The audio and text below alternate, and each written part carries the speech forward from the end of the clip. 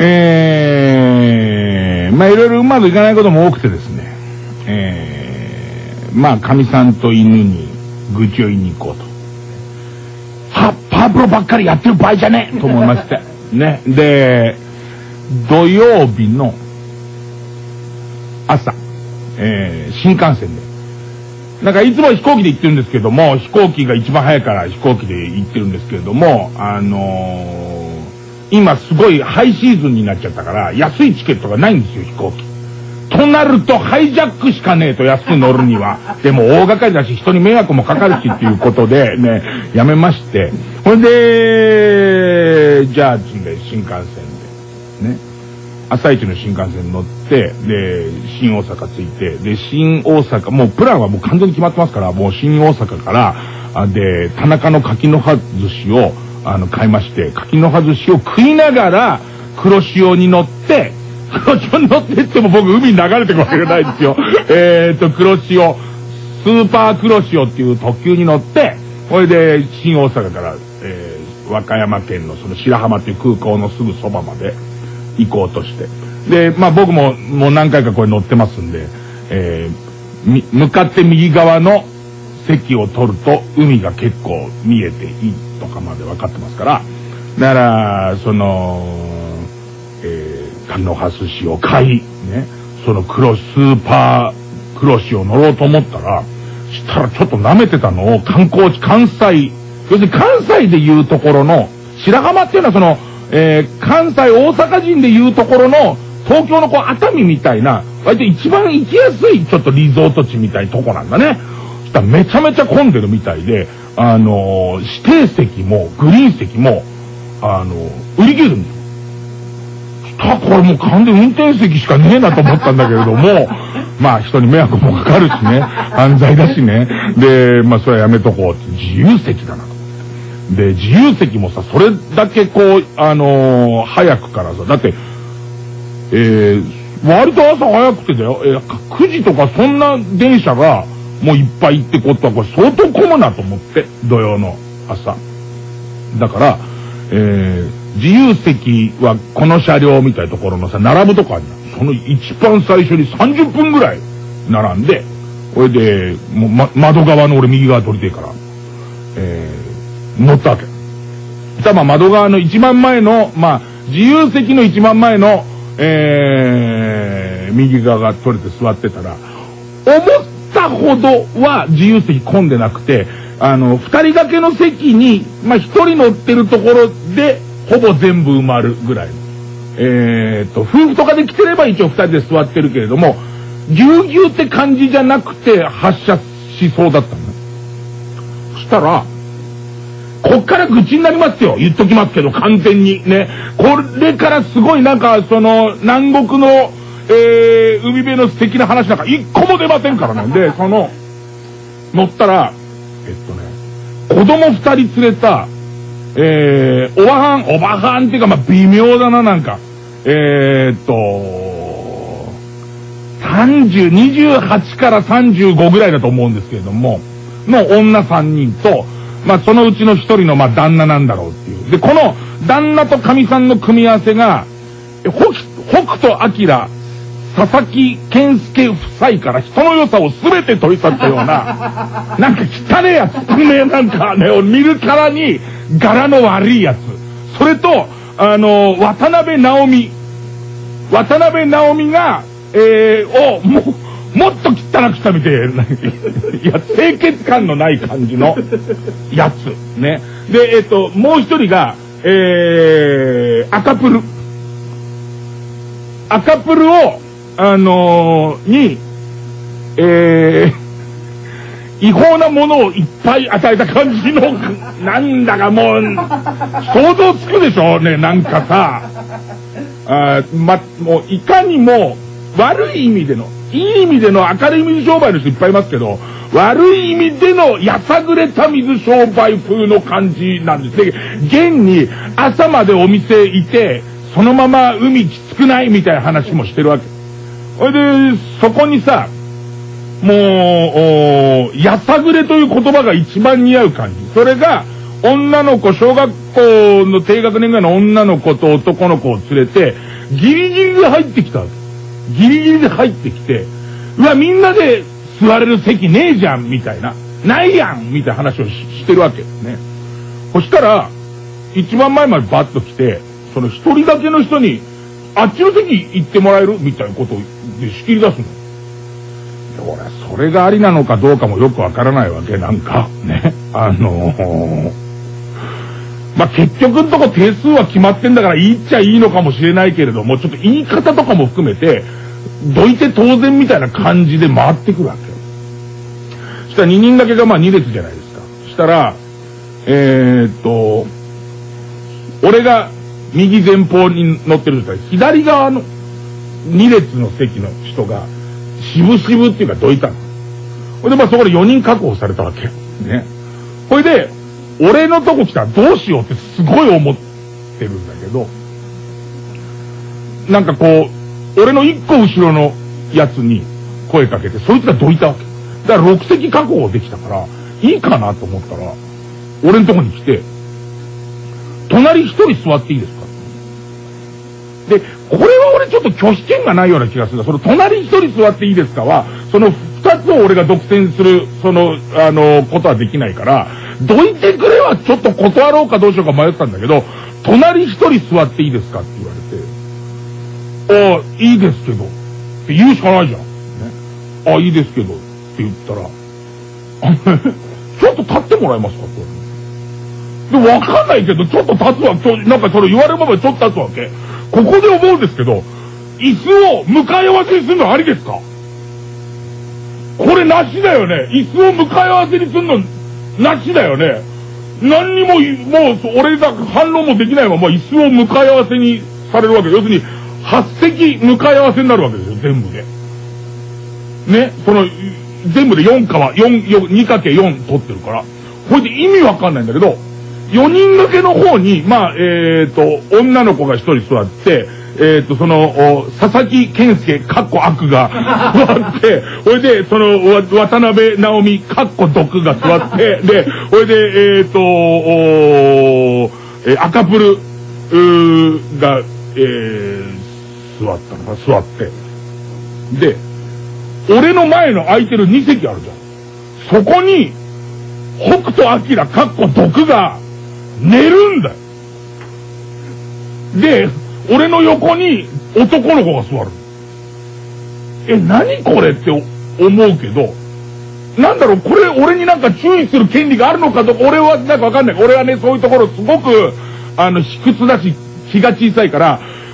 注意する権利がよくわかんないわけ。だってさ、その寝てる席は俺が明け渡した席じゃないから、そこに寝ていいかどうかは俺の話じゃないじゃん。で、言うとすれば、その、向かい合わせにされたことなんだけど、それはなんかわかんないけど、言われるままに立っちゃって、あの、向かい合わせになってるとこを唖然として見ちゃったから、なんかもうすでに抗議権が切れちゃったみたいな。あの、打順は間違えたんだけど、次一球投げちゃったからみたいな。あの、野球のルールのすごい複雑なやつだから、例えとしては多分間違ってると思うわ。例えとしてはみんなそれやられると思うわ。で、その状況なわけ。で、もうさ、その先さ、もうなんか、まあ、柿の外しもあんま味しないよね。俺の大好きな田中の柿の外しが全然味しないよね。へえ、柿の葉にそんな防具作用があるんだみたいな、その、喜びとかね、関心もなくなっちゃうよね。ほいでさ、したらその後、まあ、こいつらがその、ルックスにやさぐれ、ね、やさぐれーズが、やさぐれファミリーが、まあなんか、よく聞いてるわけじゃないんだけど、どうやらその、健介、えー、それ黒健介、えー、っと、健介かっこダークサイド、ね、あと北斗晶ダークサイドの息子と、あと、えー、っと、その、えー、北斗晶と同じ店に勤めてる、えー、お、お、お姉さんというか、まあ、お姉さんたちと、その娘みたいな感じなんだけど、それでまた話してることとかがさ、なんかその、女の子とかが騒いでるんだけど、騒いでてさ、そうするとパンツが見えたりとかするとさ、まあパンツなんか見せんじゃないよ。で、その女の子は何ちゃん、な、まあこれもちゃん付けじゃないけど、例えば、花子だったら、花子、花子、パンツなんか見せんじゃないよ。で、こっちの太郎、子供太郎に、太郎勃起しちゃうよ。あはははみたいな話してんのよ。もうなんかすごいなと思って、お前。お前、あれだな、小津安二郎がなんかそういう役で多分セリフとか割ったんだろうな。すごい自然だもん、そのやさぐれ方がと思いながら。ほいでさ、まあいくつか細かいポイントあるんだけどさ。で、なんか途中からさ、その、女の子がはしゃいじゃったわけ、花子がはしゃいじゃってさ、大きな声でさ、あの、マルモのなんか踊りみたいなの始めるわけ。さすがに、まあ俺の中で思うんだけど、こういうちょっとヤンキーみたいな夫婦って、あの、うるせえ時には怒ったりするイメージすげえあんのに、その、北斗晶が、そこ振り付け違うよっていうのね。そこ注意すんだみたいな。でも大騒ぎになってるわけ。もうめちゃめちゃ嫌な気持ちになりながら横にいるんだけど。で、途中で一回、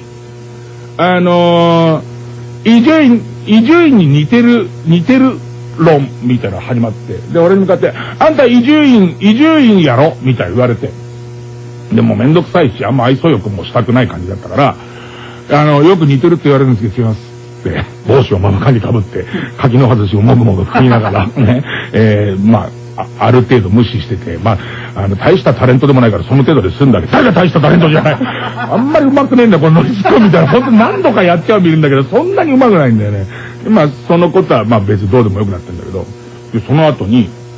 横に座ってた男の子が、なんか、俺の柿の外しを見て、あれが食べたいって言い出した。ね。さすがにさ、それは怒ると思うじゃん。したらこの北斗晶が何つったと思う？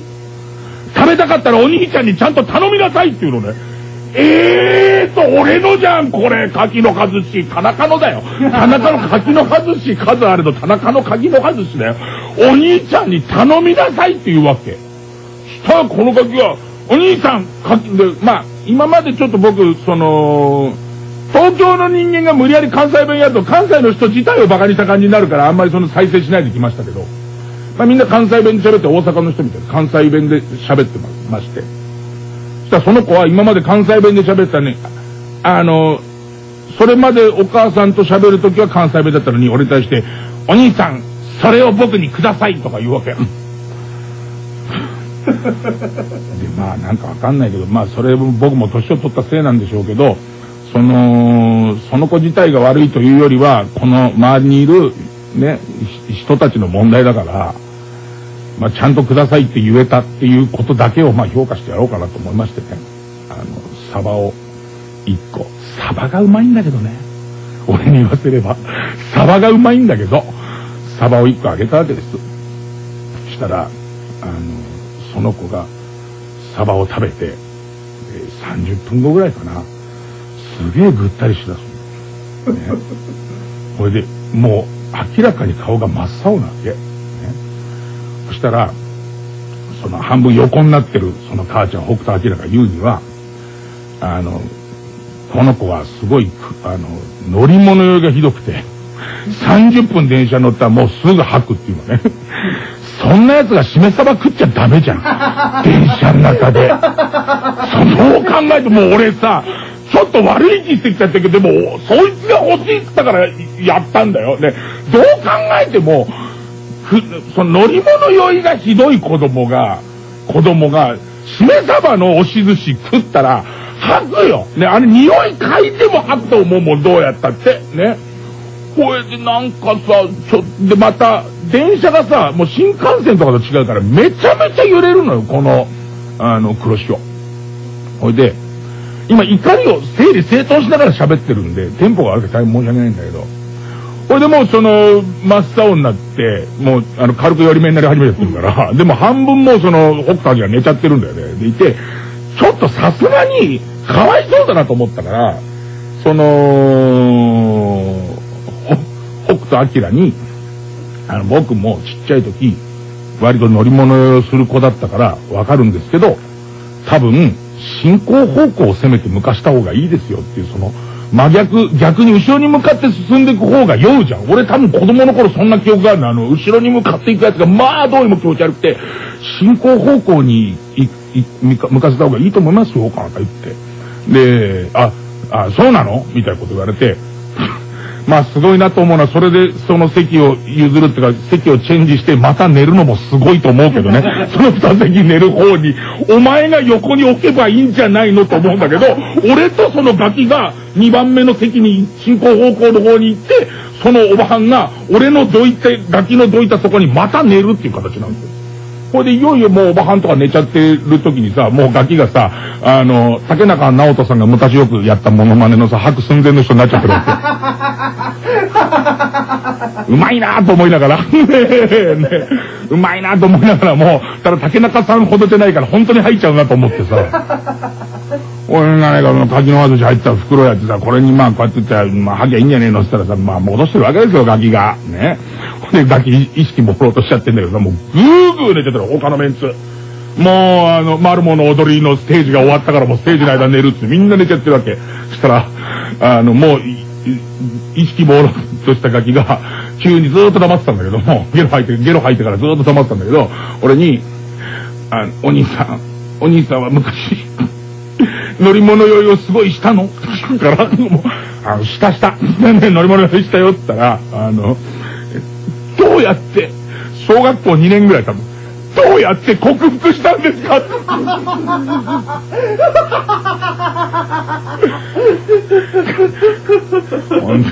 バンジージャンプ1000回ぐらいの嘘ついてやろうかと思ったんだけど、ね、小石を飲むとねって言おうと思ったんだけども、金玉の根元をね、あのね、あの、ピンクの輪ゴムで止めときなって。ダメだよ、普通のあの輪ゴムの色の輪ゴムじゃなくて、あの、揚げ物屋とかでくれるあの、ピンクの輪ゴムでね、こう、ギューってしまったまま、寝ちゃうといいよって嘘つこうと思ったんだよな。あんまりに改造だから、ね、あの、あの、えー、っと、今何年生って言ったら、えー、2年生とか3年生と忘れ忘れちゃったの言ってたから、5年生になったらピタッと治るって話を、5年生になった瞬間治るっていう話をしたら、すごいにっこり、にっこり、よかったっていう顔をしながら、またとじゃってたね。もうすごいんだよね。なんか本当に途中でさ、もうちょっと腹立っちゃってさ、だやっぱさ、図書、図書自体もさ、なんかこう、気管に吐砂物詰めて死んじゃう人だっているわけだからさ、その、おばはんにさ、おばはん子供入ってるからさ、ね、入ってる間だけでも見といた方がいいよ、みたいなこと言ったら、ちょいきれなって、なんかまあ俺の言い方もちょっと悪かったんだけど、もうちょっと7割方寝てるおばはんに対してもう怒りがいっぱいになってたから、おばはんの、あのー、あの、おばはんって言ってるし、おばはんさ、おばはん、おばはんっつっておばはん起きてね、子供入ってるからさ、起きてちょっと世話してやった方がいいよ、ってなんか言ってた。そしたらさ、まあまあ眠いとこ起こされて急におばはん扱いだからなのかもしれないけどさ、なんかちょっと急にさ、そんな分かってるし、この子いつものことだからいい、だからとか言って、いつものことか知んないけどさ、吐いてんのここちょっとかかったりしてるからさ、とか言って、すいませんね、みたいな感じになったんだよ。ほいで、それぐらい切れといて、駅降りたところで、他の、その、えー、っと、観光客の人に、まあ、両方とも白浜で降りたんだよ。他の観光客の人に、あれ、あれ伊集院だよねみたいな、言われて、で、あの、喋っとっていいですか？なんて言われて、おおなんつって写真撮ってたら、やっぱ伊集院じゃん一緒に写真撮ろうって始まるのね。どういうセンスでそういう風に、ごめんね、あのね、怒りがあんまりまだ笑いに消化されないまま、消化されないまま喋っちゃってるから。だよ、なんか俺、小学校の1年ぐらいまでかな。えー、割と乗り物酔いをして。で、あの、乗り物酔いしてる時に家族がはしゃいでるのってなんかすっごく孤独だった思い出があるんだよ、なんか。